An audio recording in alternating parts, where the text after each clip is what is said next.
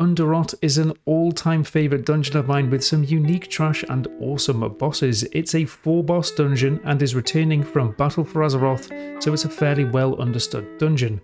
We will be covering everything you need to know to get you started in Mythic Plus in patch 10.1. Just before we get started, I have probably my greatest work of art I've ever created in a plater profile that has every single mob color coded, including highlighting important casts, so you immediately know what needs kicked and what needs stopped in every dungeon for 10.1. It's honestly like playing with a hack or a cheat sheet, and I promise you it will massively help out your gameplay for week 1 if you use it.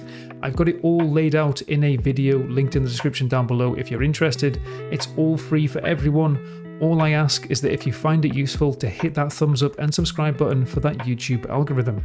Anyway, let's get on with the dungeon. The first boss split then includes a few nasty mobs that you need to know about. The first mob you want to watch out for is the Blood Matron. She is a large mob which can't be CC'd and will randomly charge a player casting a Savage Cleave. This cleave is a fairly short range and you can walk out of it and I'd absolutely suggest that you do so as if you get hit by the cleave it will most likely kill you with the bleed effect so watch out for this. The matron will also do a war cry which increases the haste of all nearby mobs so keep that in mind if you're a tank player, try not to pull the matron with lots of other mobs. Next up we have the Fetid Maggot. This mob has an uninterruptible cast called Rotten Bile that is a frontal and will absolutely destroy people if you stand in it. You can use stuns or other CC to stop this cast and I would highly recommend doing so whenever you come across one of these maggots. In this first area there are also some small blood ticks.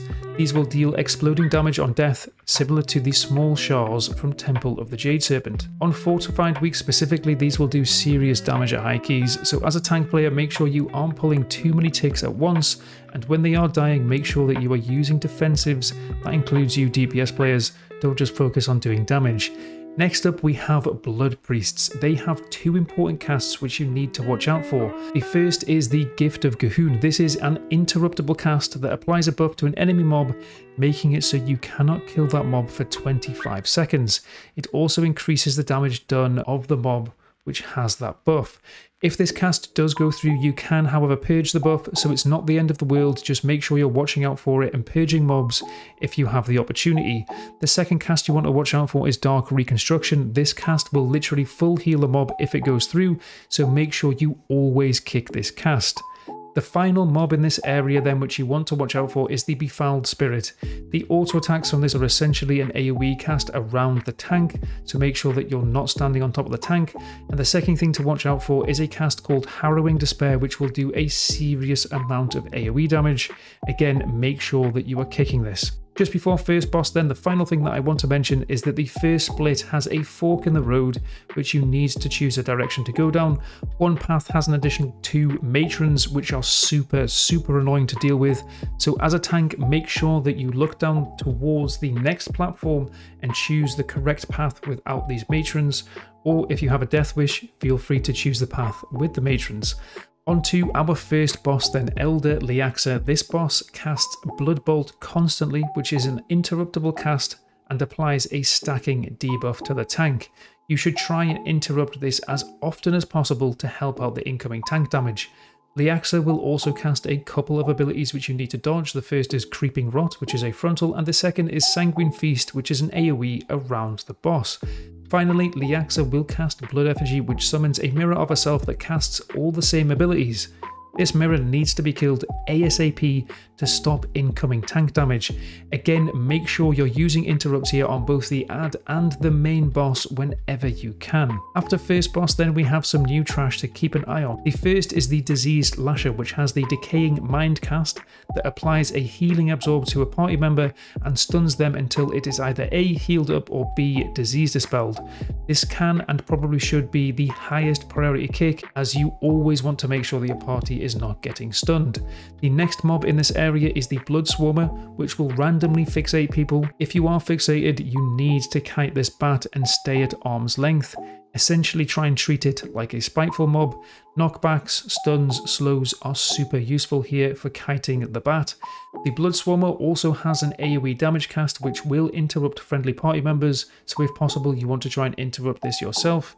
It is important to kick this, however, I think that the Diseased Lasher is a higher priority, so I would put that first. That's it for mobs in this split then, on to the next boss, which is Cragmaw. This boss has three abilities that A, hurt, but B, they also spawn blood lava all around that if you don't stand on and stomp on in time will turn into mobs that do a huge stacking debuff on the tank, so you need to stand on as many of these lava as possible. The first ability to watch out for then is a tank frontal called Indigestion. If you're fast enough as a tank you can run out of this but otherwise just make sure you're using mitigation here. The next ability is Charge which targets a random party member and Cragmaw will then charge towards them. If you bait the charge into a wall this will firstly make it much easier to stomp on the ticks but secondly it will also make it so the boss doesn't run into the middle of the room and will allow DPS to keep hitting the boss and maintain uptime. The best spot to do this in my opinion is right next to this big ribcage. If you tank the boss here, DPS can easily move the boss towards the wall, charge it into a wall, and then dodge the charge. It goes without saying that you need to dodge this charge cast or else you will die. The final ability to watch out for then is Tantrum. The boss essentially just runs into the middle of the room doing massive amounts of party damage and also spawning lava. Make sure that you use defensives here to help out the healer, but also use movement abilities so that you can stomp on as many ticks as possible. If ticks do start spawning, then try and help out the tank with things like AoE stuns so they don't take a huge amount of damage from the ticking bleed effect. The next split of trash then has a couple of mobs that always group together. These are the Death Speakers and Guardians. The Guardians themselves do a shield cast every once in a while, which if successful will put a shield on the mob. This shield can be purged, you can also use AoE stops on these casts if available.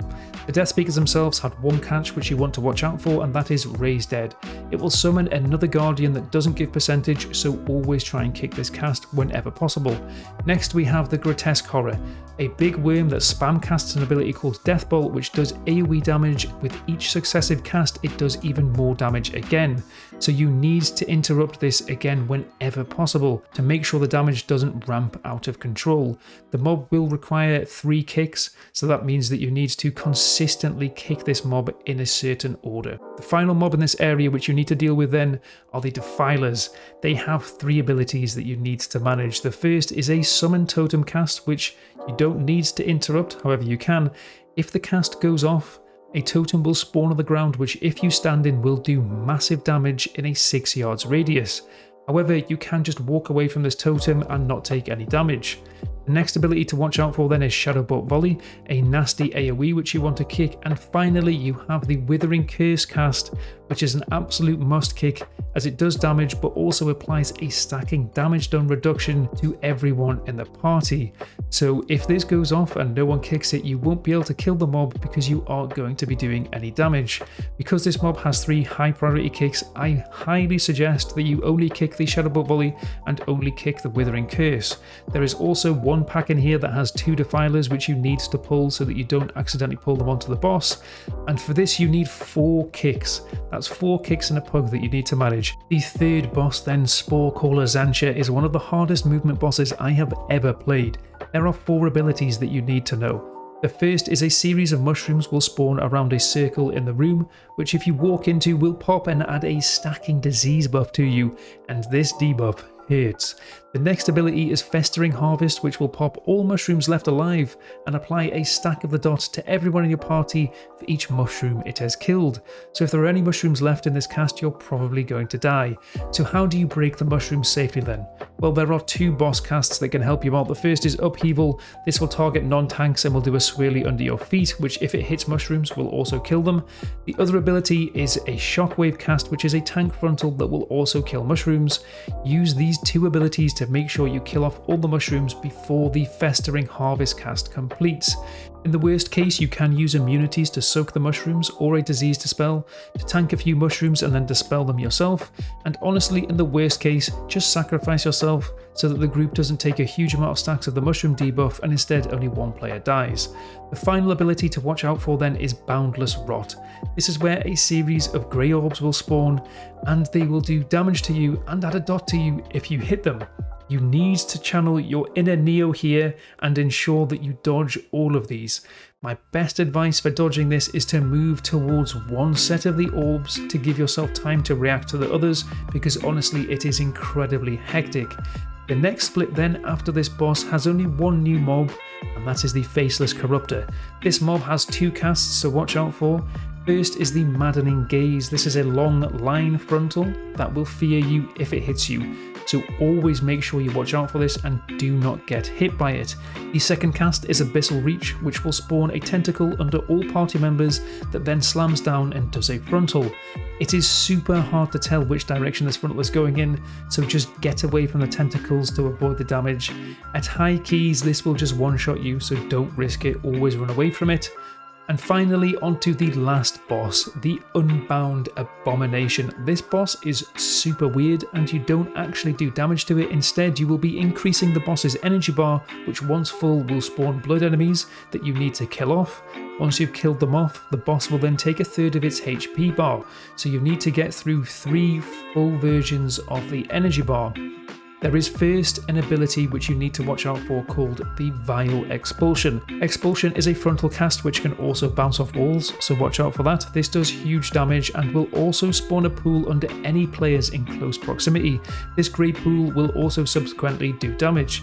The boss also applies a stacking magic damage dot which can hit at high stacks. Your friendly Titan Keeper following you around will periodically cast a cleansing light on a party member, which if you stack in will remove all of the magic damage debuffs, so you need to stand in this whenever you can.